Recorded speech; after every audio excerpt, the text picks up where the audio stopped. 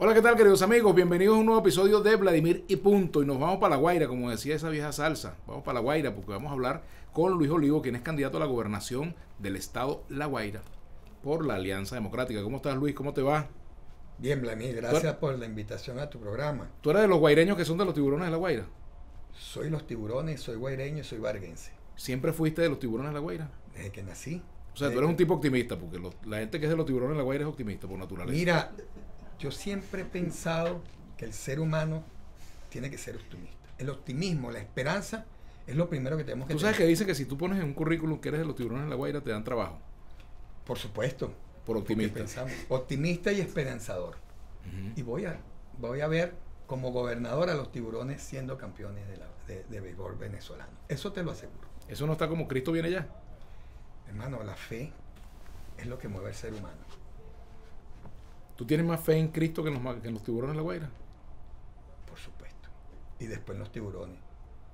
Tengo fe en la gente, tengo fe en el guaireño que va a saber ahora. Ahora, para ganarle al chavismo en, en La Guaira que ser un tiburón.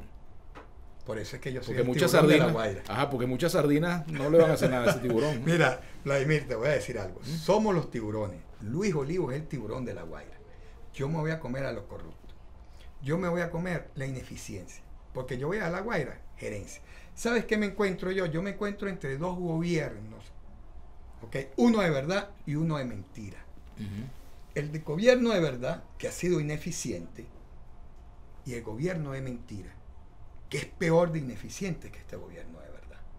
Los dos nos encontramos, una alianza democrática como se encuentra en el, el pueblo normal, en el medio, entre estos dos gobiernos.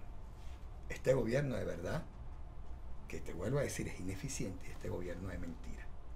Un gobierno de mentira que tuvo un ministro de salud que dijo que le iba a dar vacuna. Y todavía estoy esperando que me diga qué venezolano se vacunó con ese gobierno de mentira y ese ministro. Dijo que iba a darle 100 dólares de bono a los médicos, todavía están esperando los 100 dólares. Pero sí recibieron una cantidad de dólares de la ayuda humanitaria.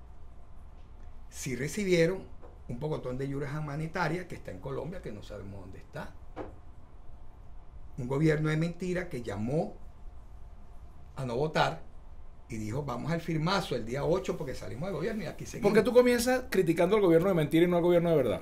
Porque el gobierno de verdad sabemos que tiene 20 años siendo ineficiente. Y este gobierno de mentira sigue mintiendo. Ya sabemos quién es en uno, pero todavía seguimos es- oyendo esperanza del otro. Por favor, hablemos con honestidad al pueblo. Hablemos con honestidad a la gente. Veámoslo a los ojos. José Manuel Olivares pertenece al gobierno de mentira. ¿Quién fue el ministro de Salud? Solo te voy a decir esta pregunta. Entonces, tenemos que ser honestos. La Alianza Democrática es la que está en el medio de estos dos polos. Vamos a hablar de política, vamos a hablar qué está pasando. Ahora, cuando se habla de dos polos, son dos polos que son mayoritarios, son minoritarios. Ambos minoritarios. ¿Y la Alianza Democrática? La Alianza Democrática es la que está construyendo el centro realmente. Es que está construyendo la esperanza hacia el voto, la- el respeto hacia el otro, el respeto a la democracia. Lo dije en tu programa. El respeto a la constitución. Que estos dos polos la han violado siempre. O es que me diga que este gobierno ineficiente no la viola a cada momento. Y esta oposición, que yo le digo el gobierno de mentira, no la ha violado también. Para ti, ¿cuál de los dos es peor, el gobierno de verdad o el gobierno de mentira? Ambos son malos. Porque nunca han pensado en lo principal. Venezuela. Por ejemplo, tú descartas una alianza con, con el candidato del gobierno de mentira. Mira, Que tú lo llamas así, no lo estoy diciendo yo. Tú dijiste que, que José Manuel Olivares es el candidato del gobierno de mentira. sí. Yo así lo digo. ¿Y descartarías una alianza con él? Mira, no se puede descartar nada. gobierno de verdad. La política es muy cambiante. Tú como tu trayectoria política, que ha sido muy larga, tú sabes que muchas veces en la política tu adversario puede ser también tu mejor aliado. Pero cuando se tienen criterios iguales y vemos las cosas de una misma forma, Vladimir. Aquí tenemos que pensar, ya acabarnos de pensar en posiciones políticas, en defender el gobierno defiende su posición, que para mí ya está caótica, ya sabemos que es ineficiente, y este gobierno de mentira defiende su posición y los dos no han pensado realmente quién sale afectado de todo esto. Es la gente, Vladimir. Es la gente que es la que no tiene un plato de comer en su casa, es la que no le llega el gas, es la que no le llega el agua, es la que no le llega ninguno de los servicios. Hablando de igual, ya que tú dijiste que era tiburón, ¿qué tiene en la bola Luis Olivo para ofrecer a los guaireños? Una gerencia. Yo soy un empresario gerente. Aquí no necesitamos un gran político. ¿De qué campo de empresario eres tú? ¿De qué campo? Te- eh, yo te lo comenté. Sí, pero- yo, pero al área tengo una constructora, la tengo Ajá. parada, área de suministro de materiales de construcción y hoy en día manejo unas, unas agencias de carros. ¿Ok? Fui gerente de comercialización y venta a nivel internacional, una empresa transnacional.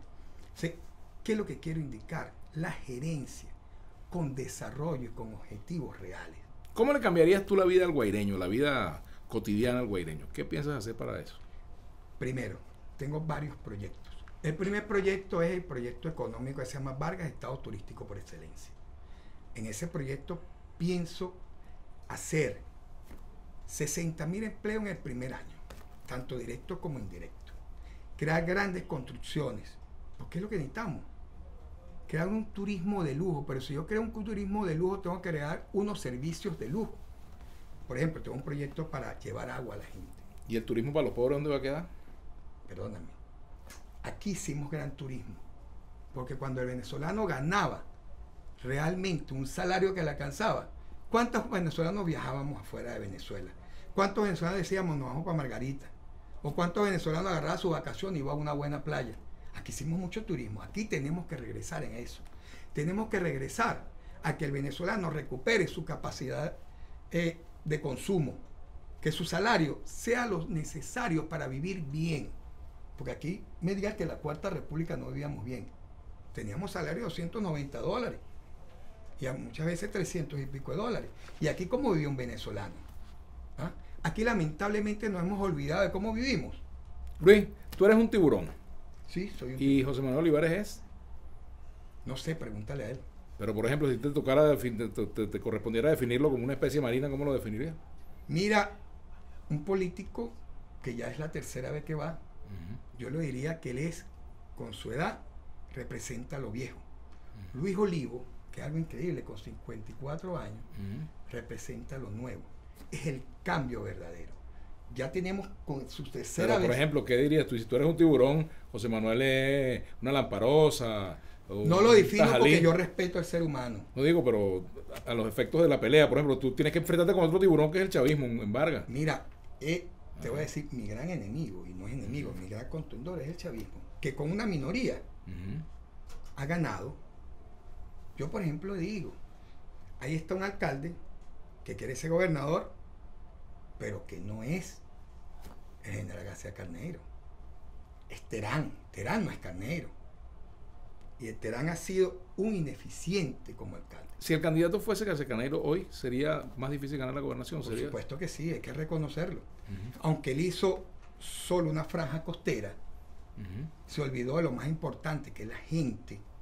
Porque las grandes obras no llevan comida a la casa. Las grandes obras no llevan agua a la casa. Las grandes obras no llevan electricidad. Hay que saber diferenciar. Hay que hacer grandes obras, pero con sentido social. Es lamentable que el gobierno y estos dos gobiernos, el de verdad y el de mentira, se han olvidado de la sociedad, de la gente, del de a pie. ¿En qué se refleja o en qué se demuestra que ustedes sí están pendientes de la gente y, y que los que no están pendientes son los otros? O sea, ¿dónde está, digamos, la bondad de ustedes como política? ¿En qué se mira eso? Mira, yo voy a preguntarte, ¿cómo vivíamos con los adecos? Con los adecos, ¿cómo vivíamos? El adeco nació del pueblo. Cuando se fundó en 1941, se, fundió, se fundó con la esperanza de un país diferente. Hubieron errores, somos humanos, pero aquí era un país en desarrollo. ¿Tú te imaginas si hubiésemos seguido con esa senda? ¿Qué fuera Venezuela hoy en día? Yo sí creo. ¿Tú tomas? Por supuesto, soy venezolano, el 99% tú tomas. También, claro. es que, Ahora una pregunta, tómame, tómame de vez una en pregunta cuando. que te voy a hacer, ¿con los adecos se ve mejor? Mira, con los adecos se vive mejor. Ahora, no sé, vamos a bebernos un trago a ver si lo podemos beber mejor. Tú sabes, porque a mí, a mí me gusta beberme un trago, una Claro, fiesta, vale, claro. es compartir. Y en la Guaira es muy difícil no, no hacerlo con Mira, ese calor. en la buena no tomarse un buen trago en ese mar, en ese sol, en esa arena. ¿Sabes nadar? Me enseñó mi tío Quintín Long así. Ajá. ¿Pescas? Tengo una pequeña lancha donde salgo a pescar y me fascina pescar. Y, y pararme en un malecón y tirar mi, mi anzuelo y sacar mis chicharritos, mis sardinitas y irme a pescar. Es divino. ¿Te come el pescado con la mano? El pescado se come con la mano, hermano. El que me coma el pescado con tenedor, yo lo veo y le digo, tú no eres ni oriental ni guaireño. ¿Cuál es tu pescado favorito? El dorado. Me parece que es un sabor increíble. Y lo increíble del dorado, que es como decir el, que- el- el que come carroña, todo lo malo que eso lo dicen del bagre también. El bagre es muy bueno, pero el dorado para mí es un pescado con un sabor increíble. Ahora, hay quienes acusan a la Alianza Democrática que son, en vez de ser tiburones, son guabinas, porque son muy blandejas con el gobierno. Mira, no, no, qué equivocados están lo que Ujú. dicen eso. En la democracia, ¿se acuerdan? No podemos dejar de reconocer que existe un gobierno. No podemos dejar de reconocer que por culpa de una oposición que llamó a no votar en el 2018, con una cantidad de votos muy baja, ganó el presidente Maduro. El que me diga que Maduro no ganó, está diciendo mentira. ¿Por culpa de quién? de nosotros. Que ahorita en el pasado 6 de diciembre ganaron con una minoría, ganaron una Asamblea Nacional. Tienen 200, eh, 257 diputados y nosotros tenemos 20 diputados. Una- Cu- ¿Culpa de quién es, Ibrahim? Ajá, a propósito de eso, ¿tú te has encontrado a José Manuel Olivares en la campaña, en la calle? ¿Los has encontrado? No, no nos hemos encontrado. ¿Lo conoces? Conozco a su papá. Ajá. Que por no- cierto, ju- jugamos, jugamos a todo. Ahorita no tengo tiempo de jugar dominó. Ujú. Jugamos dominó, yo jugaba dominó con el papá. A él no lo conozco. Y mira, Y hablando de dominó, ¿cuál es la piedra de tranca para que ustedes se pongan de acuerdo, José Manuel Olivares y tú? Por ejemplo, para escoger un solo candidato que derrote al gobierno. Yo no tengo piedra de tranca, hermano. Yo tengo años aquí, a mí me llamaron eh, alacrán, me llamaron de todo, ¿Qué le dices tú al que te dice Alacrán? Que yo soy un hombre demócrata, que siempre pensaba en el voto, creo en el voto, creo en la constitución, de tú participaste en hacerla en el año 99, creo en la defensa de la constitución. Si eso es ser alacrán, seguiré alacrán toda mi vida, porque defenderé los derechos que tenemos y defenderé a la gente, defenderé el voto, defenderé la democracia. Yo siempre he dicho, la democracia, Vladimir, no se arrebata, la democracia se construye y se gana, y se gana a través del voto. El que arrebata la democracia, mañana se la arrebatan a él. Entonces, ¿cuándo vamos a tener una verdadera democracia? Cuando ¿Tenemos democracia en Venezuela? Hasta cierto punto sí. Mientras que ¿Dónde comienza la no democracia aquí en Venezuela? ¿Cuándo deja de ser la democracia? Cuando persigo a la gente. Pero ¿en qué gobierno no ha habido persecuciones? Hasta en los gobiernos de ADECO. Entonces, mira, esa persona del gobierno ADECO, vamos a poner entre comillas, el que delinque, siendo decir político, hay que llevarlo preso. Porque no puede hacer una ley para uno y una ley para otros. Porque si no, vamos a vivir siempre en una Pero al anarquía. final que todos los gobiernos tienen ese mismo argumento. Cuando meten preso a alguien, bueno, ese no es preso político, eso es, ese- ese es un delincuente. Mira, Vladimir, Pasó en el pasado, pasa en el presente y pasará quizás en el futuro. ¿Cómo hacemos ser- para que no sea así? tenemos que ser justos. Eso es lo que pasa, lamentablemente. Que son, cuando tú tocas el status quo de un grupo, es cuando empieza a ver los grandes problemas. Pero este status quo se ha siempre separado de la gente que realmente necesitamos ayudar. Porque el dinero de Venezuela es el dinero de todos. No es el dinero de un status quo, no es el dinero de un grupo. Es para llevarle las necesidades a la gente solventarle sus necesidades, es decirle, mira, aquí tienes esto. Hay que darle a la gente desarrollo, Vladimir.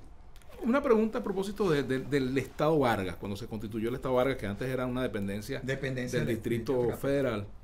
Sea, ¿Cuál ha sido el balance del Estado Vargas como Estado realmente, desde que se creó hasta el día de hoy? ¿Qué le falta? ¿Qué le sobra? Le falta gerencia, porque esta Vargas tiene todo. Tiene un gran turismo que podemos ejecutarlo. Tiene una mina de cortán. Tiene mina de granito. Tiene el primer aeropuerto de Venezuela. La entrada de Venezuela es ahí. Tenemos el segundo puerto más importante de Venezuela. Tiene todo para el desarrollo. Lo que no ha habido una gran gerencia y voluntad real. Mira, hay que reconocer que se hizo una gran franja costera con unas grandes construcciones. Pero eso no le lleva comida a la gente. Eso no le lleva estabilidad a la gente. Aquí ha habido intereses individuales de algunos gobernantes o de estos gobernantes de realizar grandes negocios. Por ejemplo, yo tengo un proyecto que se llama agropesquero alimentario. Desde que cuando no hablamos y se dice que en Vargas puede haber un centro de acopio, yo no le llamo centro de acopio, le llamo un gran mercado de mayoristas. No tenemos tres sectores importantes de, de- de agrícola, que es Carayaca, Junco y Caruajo. Por ejemplo, el doctor Emilio Correa, que es abogado y perito agrónomo, es el que hizo este proyecto. Yo tengo un proyecto específico para eso. Y es pesquero. Somos pesqueros, podemos producir para nuestro estado. No es posible que nosotros tengamos que recibir camiones de Táchira, o como le llamamos aquí en Venezuela, los gochos. ¿Por qué? Porque hay un, hay un negocio específico para eso. Tenemos en Vargas un gran mar para hacer plantas desalinizadoras. Tenemos arriba en la montaña agua suficiente, que es cuando llueve, que los varguenses nos preocupamos, que podemos suministrar agua a nuestra gente. Pozos profundos que podemos solventar ese problema, pero no hay la voluntad ni la gerencia política. Yo pongo un ejemplo. Vargas, por ejemplo, si se produce un deslave en Vargas, ¿qué ocurriría? Dios no quiera. Hay condiciones para, para, Mira, para, no hay digamos, desde el punto de vista de la infraestructura para resistir un... No hay- un hecho, en ¿no? este momento no hay las verdaderas condiciones. Porque se han olvidado los principales. Hicimos grandes proyectos, pero no se ha hecho lo- las cosas como deben ser. Lo mejor y lo peor de García Carneiro. Eso fue lo mejor de su obra. Mira, lo mejor de García Carnero que hizo su gobierno, lo peor que se olvidó de la gente y que se apoderó de funciones que le pertenecen a la alcaldía, porque como no hubo alcalde, la hizo él. Mira, ¿a quién le toca lo que es la parte de recolección de basura? A la alcaldía. Y lo asumió la gobernación. ¿A quién le toca el desarrollo de agua? No es a la gobernación, es a la alcaldía. Los servicios principales, ¿a quién le toca? Una alcaldía. Y se lo asumió Carneiro. ¿Por qué? Porque no había gobierno, no había un alcalde. ¿Mm? Eso fue lo peor también que pudo haber sido García Carneiro. No respetó realmente las funciones de cada lado. Aquí, Luis Olivo llega a la gobernación y respetará a un alcalde. Y trabajará directamente con un alcalde y le dirá, alcalde, tus funciones son estas. Y tiene que ejecutar tus funciones. Pues tenemos que dejarnos de tonterías. Por ejemplo, si gana el chavismo y tú llegas de segundo, ¿qué le dirías a José Manuel Olivares? Mira, yo lo único que le voy a decir a José Manuel Olivares, que yo voy a decir a este G4, que ahora se llama Plataforma Unitaria, vinieron fue a dividir. Su función es a dividir ¿Y si tú para no llegas- perder un status quo. ¿Y si tú llegas de tercero? Le vuelvo a decir, el gran perdedor sería él. La tercera vez. Ya, por eso te digo, él representa lo viejo, lo pasado. Luis Olivo con 54 años está representando lo nuevo, la esperanza nueva. Ya es tercera vez como candidato. Oye, no es suficiente. En el mejor momento que tuvo la oposición en el 2017, perdió. Ahora, ¿qué quiere decir que va a ganar? Y ahora viniendo a dividir, cuando nosotros traemos a la Alianza Democrática un trabajo de llamamiento al voto, generando una esperanza a la gente, demostrándole que somos gerentes, demostrando que llevamos verdaderos proyectos para el crecimiento de nuestro Estado. Y ahora llega en un avión a comprar chocolate en el duty free y a decir que yo soy gobernador. porque no llegó y dijo, mira, que hay un candidato que tiene meses trabajando con García Carnero en la gobernación, trabajando, ahora llegaste hace dos meses, ahora yo soy el candidato. Yo soy el puro, la oposición pura y ustedes son la oposición impura. No, aquí no, aquí no hay oposición pura ni impura, aquí hay oposición. Porque ejemplo te voy a poner en México. En México, ¿quién está? Es el 4. Ahora le llama plataforma unitaria. ¿Qué lograron? Reconocer a Maduro. Esos tres años diciendo que es ilegal, que Maduro no, no, ganó unas elecciones, ahí lo reconocieron. ¿Quién ganó en México? El gobierno.